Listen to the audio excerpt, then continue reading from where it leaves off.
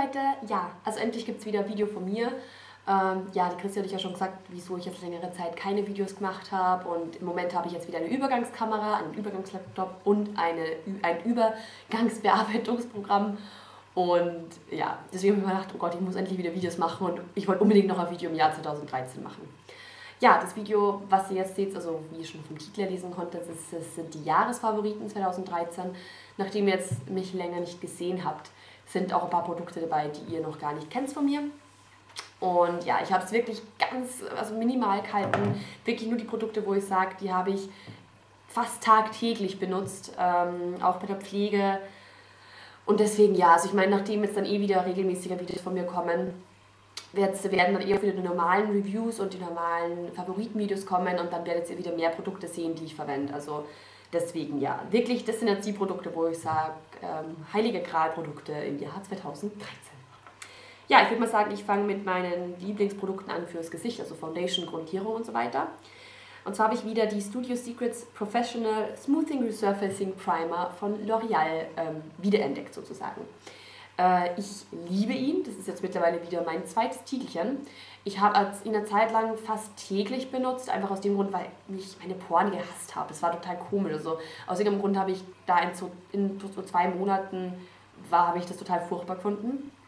Aber da ist mir dann aufgefallen, habe ich doch ein paar Pickelchen bekommen. Deswegen höre ich die jetzt wirklich nur mehr eher, wenn ich weiß, ich möchte den ganzen Tag frische schon. Also wenn ich weiß, ich treffe mich zum Beispiel zum Frühstücken mit irgendjemandem, muss dann arbeiten und am Abend mache ich vielleicht auch noch irgendwas dann verwende ich diesen Primer und natürlich am Abend beim Weggehen, weil die Foundation schon wirklich länger hält. Dann äh, die Grundierungen. Ich habe zwei, die ich euch zeigen möchte. Grundsätzlich habe ich natürlich mehr innerhalb von diesem Jahr ausprobiert, aber jetzt keine, die ich dann länger benutzte als am Monat. Ähm, ja, zum einen in ungefähr der ersten Hälfte vom Jahr 2013 habe ich die Bobbi Brown Extra Foundation verwendet, die ihr noch aus dem letzten Jahresfavoriten kennt. Ich glaube, dass es da auch dabei war. Ich habe die Foundation jetzt schon sehr lange. Ich bin da in der Farbe Nummer 2,5 Sand, also Warm Sand. Die ist total feuchtigkeitsspendend. Die habe ich, wenn nur tagsüber verwendet, wegen dem Lichtschutzfaktor schaut die total komisch aus auf Fotos. Aber durch diese, die ist so feuchtigkeitsspendend, dass ihr es nicht immer merken würdet, wenn ihr keine Creme drunter tragt. Ist auch wirklich nur was für Leute mit einer trockenen bis sehr trockenen Haut. Aber für diese ist wirklich perfekt. Die Farbauswahl bei Bobbi Brown ist natürlich toll. Preis ist schon klar, dass es teurer ist, aber wenn jemand dafür mehr Geld ausgeben möchte, kann ich die nur empfehlen.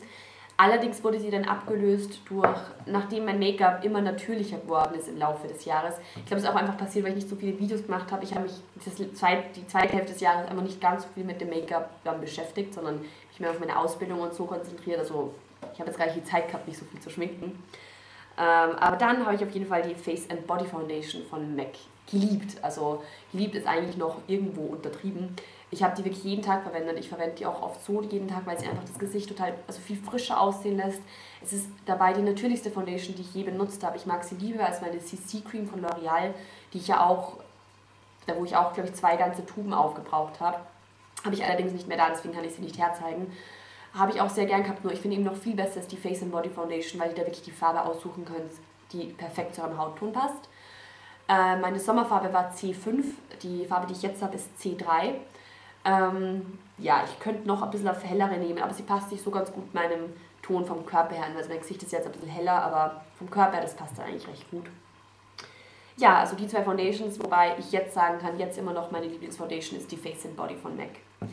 Dann, wenn ich mal Concealer verwendet habe, habe ich den Fit Me Concealer von ähm, Maybelline verwendet. Ich bin ja jetzt jemand, ich verwende eigentlich nicht so oft Concealer, einfach aus dem Grund, weil ich gerne die, dieselbe Textur auf meiner, bei der Grundierung habe. Und das stört mich oft, wenn ich eben, nachdem der Concealer oft eine stärker, also eine cremigere Textur hat als gerade zum Beispiel die Face and Body Foundation, sieht man das. Und deswegen habe ich lieber mich nur mit der Face and Body Foundation geschminkt und nachdem ich eh nicht so starke Augenringe habe, war das jetzt nicht so das Problem. Allerdings am Abend habe ich dann schon sehr, also wirklich fast immer Concealer verwendet. Ja, wie ihr wisst, ich habe trockene Haut, deswegen verwende ich kein Puder, also auch kein Puder zum Herzeigen. Aber ja, ich war ein, ich habe Rouge geliebt. Ich habe jeden Tag Rouge getragen. Also wirklich, auch wenn ich keine Grundierung gehabt habe, habe ich mir eigentlich Rouge draufgegeben. Jeden Tag ist jetzt natürlich übertrieben, aber ihr wisst schon, was ich damit meine. Also selbst an einem Tag, wo ich sage, ich habe nicht viel vor, ich bleibe eigentlich zu Hause, habe ich zumindest ein bisschen, ein bisschen Rouge draufgegeben. Ich habe nur einen äh, pfirsichfarbenen, wo ich eigentlich letztes Jahr fast nur pfirsichfarbene verwendet habe, bin ich dieses Mal mehr so in die Rosé-Rottöne reingegangen. Der pfirsichfarbene Rouge ist diese hier von Clinique. Das ist die Farbe Innocent Peach. Ein total schöner äh, Pfirsichton, eher ein heller Ton, das heißt, ist wahrscheinlich auch nur was für Leute, die jetzt nicht allzu dunkel sind. Und es gibt euch einfach eine sehr, sehr schöne Frische.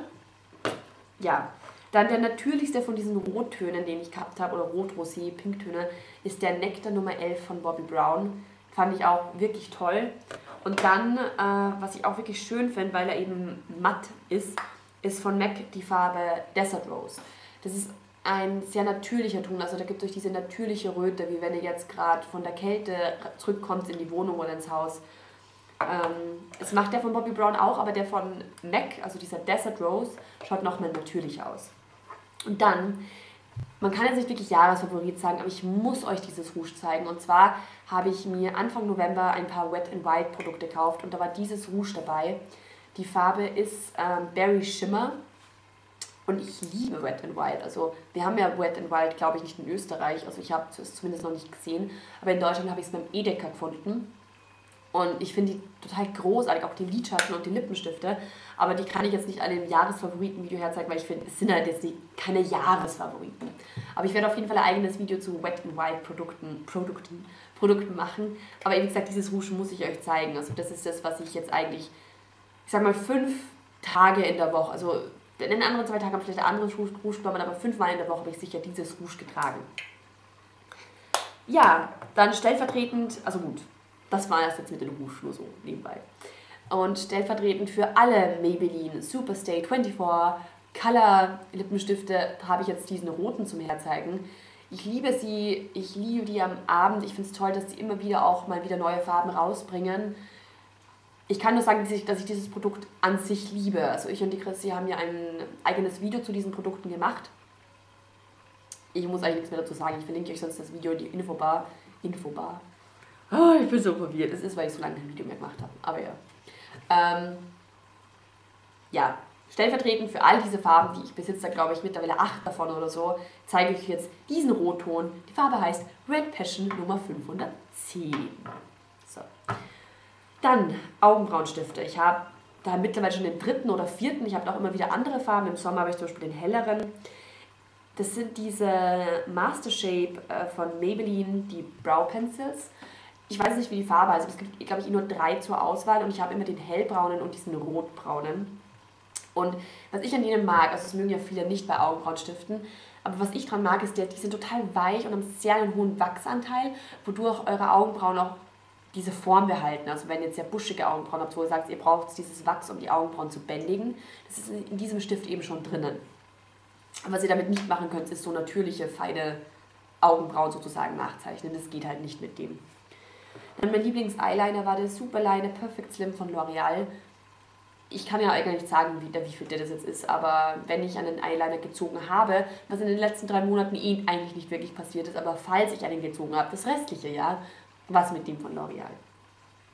Ja, und oh Schockschreck, ich habe gar keine Lidschatten zum Herzeigen. Und zwar aus dem Grund, die letzten wirklich drei Monate, kann man sagen, habe ich Lidschatten wirklich eigentlich nur zum Fortgehen verwendet. Ich habe tagsüber so gut wie keine Lidschatten getragen. Aber immer eine Creme-Lidschatten. Und zwar den Gosh Mineral Waterproof Eyeshadow in der Farbe Nummer 003 Braun.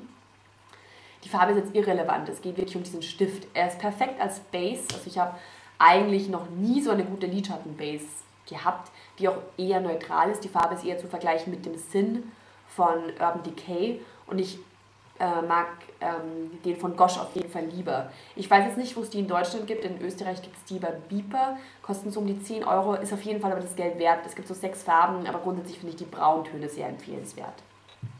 Und ich habe eben den verwendet und dann einfach Wimperntusche. Ich habe sehr viele unterschiedliche Wimperntuschen ausprobiert, aber ich zeige natürlich jetzt auch die hier, die ich jetzt gerade verwende, weil es natürlich auch irgendwo im Moment meine Lieblingsmascara ist. Ist aber schon die zweite, die ich nachgekauft habe. Und zwar ist es die Volume Million Lashes Extra Black. Und ich bin mir ziemlich sicher, dass die Chrissy auch eine von denen hat, weswegen ich einfach davon ausgehe, dass sie wirklich gut ist, weil Chrissy hat jetzt auch eigentlich nur gute Produkte daheim. Und zwar ist es eben die Extra Black, wo ich sagen muss, sie ist so schwarz wie jede andere, die ich bis jetzt hatte. Aber das Bürstchen ist toll, es ist ein synthetisches Bürstchen. Ich habe zuerst Angst gehabt, dass mir das Bürstchen zu groß ist, aber man erwischt hier wirklich jede einzelne Wimper, ist definiert, gibt trotzdem viel Volumen und es lässt sich gut aufbauen. Also man kann wirklich ein bisschen die Wimpern dann trocknen lassen, nochmal aufbauen, also nochmal Wimperntusche auftragen und es schaut toll aus. Und in Kombination dazu habe ich die Big Eyes von Maybelline verwendet und zwar nur dieses kleine Bürstchen. Ähm, ja, das habe ich halt auch nur für die unteren Wimpern verwendet. Und das ist eine Neuheit bei mir. Ich mache ungefähr seit zwei Monaten trage ich auch Wimperntusche auf meinen unteren Wimpern. Und deswegen wollte ich das unbedingt erwähnen. Also das habe ich jetzt noch nicht so lange, die gibt es auch noch nicht so lange. Aber seitdem liebe ich es, meine unteren Wimpern zu tuschen.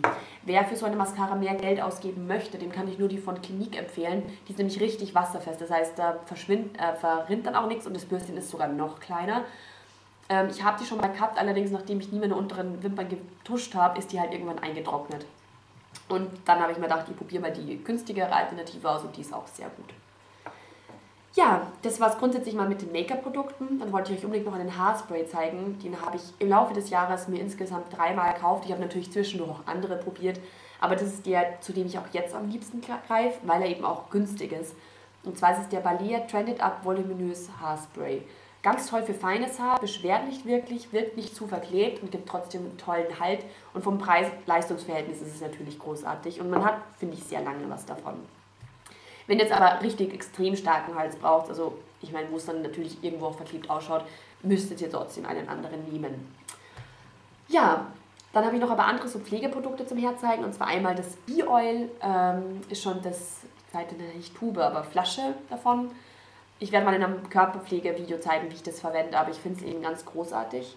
Mein Lieblingsparfüm war das Calvin Klein äh, Beauty, weil im Winter tolles Ta Tags, weil man es im Winter toll tagsüber verwenden kann und im Sommer ist es auch das perfekte Abendparfüm. Dann meine, jetzt habe ich sie schon aufgebraucht, und zwar die Clinique äh, Moisture Surge Creme verwende ich als Serum. Das ist eine ganz leichte Feuchtigkeitscreme, die wirklich die Haut sofort aufsaugt und ja, werde ich auf jeden Fall nachkaufen. Darüber habe ich dann auf die Clinique Dramatically Different Moisturizing Lotion verwendet. Die verwende ich auch als Augencreme. Ähm, ja, toll auf den trockenen Partien. Ich verwende sie auch manchmal als Handcreme und auf dem Dekolleté. Die, dafür ist sie einfach großartig. Meine normale Hautcreme, die ich im Moment verwende, ist die Skin Perfection. Das heißt, die trage ich über diesen anderen beiden Dingen nochmal auf. Ding bei mir, müsst ihr schon wissen, ist, ich habe eine wahnsinnig trockene Haut, weswegen das für mich kein Problem ist. Also ihr müsst jetzt nicht so viele Produkte verwenden, ist eh klar. Aber das verwende ich jetzt eigentlich auch eher als Augencreme. Die Skin Perfection von L'Oreal ist vom Preis-Leistungs-Verhältnis großartig. Ich finde, die Verpackung fühlt sich an wie, von teuer, eine, teure, wie eine teure Chanel-Creme. Es ist wirklich hart, also es ist Glas, es ist pink. Also ich bin eigentlich nicht so ein Pink-Fan, aber da gefällt es mir eigentlich wirklich. Die Creme riecht wirklich gut. Das sind jetzt eigentlich der Creme nicht so wichtig, aber eure Haut riecht danach wirklich toll. Habe ich jetzt irgendwo Creme? So. Eure Haut riecht danach wirklich toll und die Haut fühlt sich großartig an. Ja, und ich wollte euch unbedingt noch einen Augen-Make-up-Entferner ans Herz legen. Und zwar ist ja eigentlich mein Augen-Make-up, mein Lieblings-Augen-Make-up-Entferner, der lilane von Clinique. Hatte ich, habe ich glaube schon zum dritten Mal nachgekauft, ist mir aber leider umgekippt und deswegen ist fast alles rausgekommen. Und da habe ich gedacht, ah, ich kann ihn jetzt nicht schon wieder kaufen, also nicht zweimal im Monat, dafür kann ich einfach das Geld nicht ausgeben. Und habe nach einer günstigeren Alternative gesucht. Und ich finde ganz toll von Maybelline Jade den Augen-Make-up-Entferner, äh, ganz speziell für wasserfestes Make-up. Und großartig. Also gibt es nichts zu sagen, nimmt wirklich alles runter. Auch wenn ich die harten Kontaktlinsen drinnen lasse, vertrage ich den wirklich gut. Und ja, das war es jetzt auch schon mit meinen Favoriten. Ihr seht, so viel war es jetzt nicht, aber es wird auf jeden Fall dann im Jänner wieder ein normales Favoritenvideo geben und davor werde ich schauen, dass ich ein Wet and Wild Video mache. Also, weil ich einfach so begeistert bin von den Produkten und ich möchte euch natürlich zeigen, was ich von diesen Wet and Wild Produkten jetzt besitze. ah, trockener Hals. Ja, und wenn es geht, ich hoffe halt, dass ich es noch irgendwie schaffe, ein Silvester-Tutorial hochzuladen. Weiß noch nicht, ob es geht, aber es wird sonst einfach ein normales Party-Make-up werden. Also es wird natürlich mehr mit Glitzer sein und so, aber das könnt ihr sonst auch mal vielleicht für eine Geburtstagsfeier verwenden oder, naja, ihr werdet es ja dann sehen. Ja, und dann würde ich einfach sagen, sehen wir uns beim nächsten Mal und ich werde euch auf jeden Fall nicht mehr so lange warten lassen. Tschüss!